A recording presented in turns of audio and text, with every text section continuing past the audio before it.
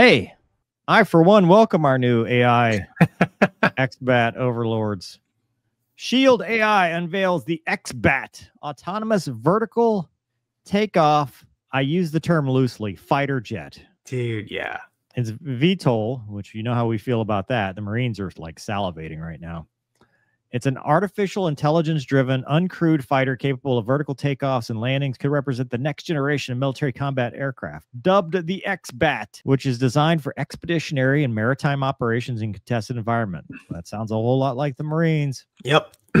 It uses Hivemind software as its autonomous core, the company said Wednesday release. Uh, air power without runways is the holy grail of deterrence. It gives our forces persistence, reach, and survivability. It buys diplomacy another day, says Brandon Tseng, the co-founder and president. With Hivemind as its brains, essentially XBAT will be able to penetrate contested airspace, team up with manned aircraft, carry out collaborative tactics without needing constant communications, and it would be a drone wingman, which is part of the collaborative combat aircraft. They've already used Hive, Hivemind to control the X-62 Vista, the abomination that is the F-16 with uh, AI in it. Frank Kendall flew in the back, even though there was a pilot up front Right. back in May of 2024. It has a range of 2,000 nautical miles while fully armed. It can go from strip sh- ships, islands, austere sites that don't have prepared runways, counter air, intelligence, electronic warfare, surveillance, reconnaissance missions. It's revolutionary and it solves the survivability on the ground and dependency on tankers. Even though nobody kicks ass without tanker gas, this thing does. According to them, XBAT's ability to autonomously operate standalone or collaboratively allows it to project power when there's no other assets to simplify the kill chain. It would be much cheaper than fifth gen, fifth gen, and um, yeah, it's they're trying to make this thing a reality. It's compact. They can put three in the footprint of a legacy fighter. So this Gonky answers the question that every time we've talked about the CCI, I've always asked, what happens to it after we fire and forget it? Right? Where does it come from? Where does it go? Where does it come from? XBAT Joe. but this this answers that question because it's VTOL, so it can go wherever. Right. can go in your Right. backyard. What do you think, man? Are the machines here to take us over? Um, Uh apparently it's only 4G limited, so I don't think it's a fighter. How's it gonna do how's it gonna do its G warm? that is the G warm. Four Gs The was four- the, your G awareness. Beyond 4Gs, it is maxed out. I think it's Well, hold on now. When bombs, you're only at like four and a half Gs. So a fighter is the same way. depends on Five and a half. Five and a half. No, Five and a half. Yeah, depends on Mark bombs. 82s was five and a half. No, it's more than that, wasn't it? Mm-mm. Big bombs were five and a half. Wasn't safe escape five Gs, Four. right? Four. Four Gs. Five Gs in two seconds. You only have a half. That's why you don't over G your bombs. Safe escape. The idea is you safe escape with the bombs, not on the aircraft. But you had five and a half G, six and a half G, seven point three three. Is the Viper numbers. I'd have to. We, dude, that was all on my card. I Well, also, that all your jet t- had your G limits, like it Yeah. knew. My jet did not. I had to honor the G limits. So five and a half, six and a half, and seven point three three. I had to know because the mm-hmm. Viper will not. Hmm. It won't won't limit for the stores. Yours would, right? The Hornet, Super Hornet, they all knew it was on the airplane and would limit itself It won't limit. No, it won't limit the G on based bomb. on the, the stores. No, it only limits the, Okay. the G's and the roll rate based on if the weights. the the the up locks are locked, and then Yeah. uh yeah, the weight, the fuel, the weight. Yeah, I would Um, say we could ask Skid, but I don't think the A10 would pull that many anyway.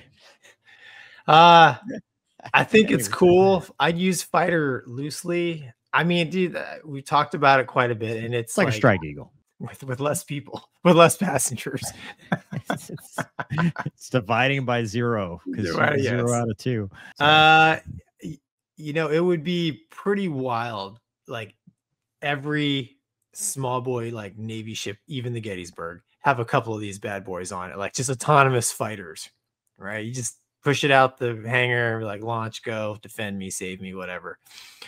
I don't know if the hog was 733. Look at that. well, no, because bombs. Uh, Skid, what was the bomb limit? For the bomb limit? Yeah, bomb limit's different. That's a target. Seven three three is a target. I want to say it was six G's, dude. For whatever it's reason, six half. G's sticks in my head. five point five. I'm I'm pretty sure it's five and a half, six and a half till tanks dry. Seven point three three for the targeting pod. Some Viper dude is gonna know. And they're either going to tell me I'm wrong or they're going to hire me to fly again because I still remember stuff. Where's Wags? Wags would know. Yeah. I want to say in the Hornet of six. I thought it was 6G. Anyways, uh, dude, the autonomous AI thing is coming, right? I think it's pretty crazy that this thing, at least they're touting it, it can like just take off by itself, join up with man fighters, integrate without much meddling, and yeah, 4G, two seconds, and then uh, you know, do its own thing basically. I mean, that's it's the ultimate force multiplier, right? And if it's uh, if it's a sketchy picture up ahead, you commit them, and then you turn around and let the picture settle. I I just the autonomous part, like you're taking taking the skin out of the game when you start sending stuff autonomous. Now, granted, a missile is basically aut- autonomous, right? It's a it's an autonomous suicide drone because all you're doing is saying kill that guy and let me know how it goes. So I just like taking the man machine out of and and that interface out of the loop and saying go do this mission because what happens when EMP hacking somebody uh, figures out how to turn it against you? I've watched enough movies, Gonky. I know what happens when Skynet becomes self-aware. I, I know. I, I'm look, listen, I'm in the same boat as you. I just uh I think the technology is cool. I I'm just a little bit skeptical of real real world application simply because, like you're alluding to, we develop a technology, the opponent develops the technology to counter, right? It's this develop and counter thing. And I just wonder if true autonomous, like unmanned things are gonna work. I mean, they probably will in peacetime. I just wonder if in actual combat. Yeah, I mean, as the collaborative combat aircraft, you know, that's cool. I mean, the VTOL thing, yeah, I get that. You want you because that is the problem in the Pacific, right? About you know airfields, um, not having not having prepared fields to work off of, having to work off of ships and stuff like that. Obviously, that's a big thing. That's why the Marines wanted the F thirty five and stuff. If it's able to saturate air defenses, you know, that's a, that's a good thing. Um, I just it depends on the level of autonomy that this is going to happen. Yeah. Probably puts the F 35B out of business, huh? I yeah, I think they put it puts itself out It of puts business. itself out of business from the Yeah. start. Yeah.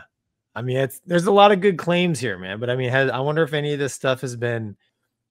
I wonder if they've done any testing, real world testing with it. I mean, you know, the Hivemind stuff they've tested that in the F 16 seems to work somewhat reasonable. But I mean, applying that to a, a drone, that's I mean, that's kind of the next step. Yeah, but I don't like, know.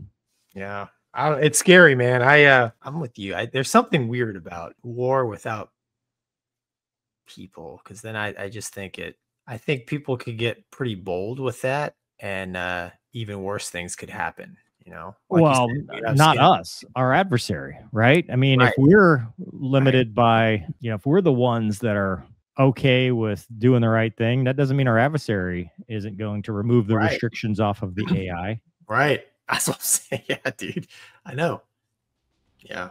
Um, anyway,